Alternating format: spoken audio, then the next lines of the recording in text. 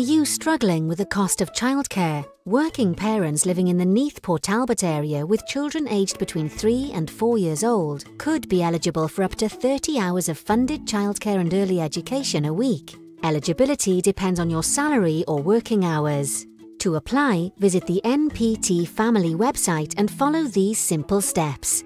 Step 1. Choose a registered childcare provider.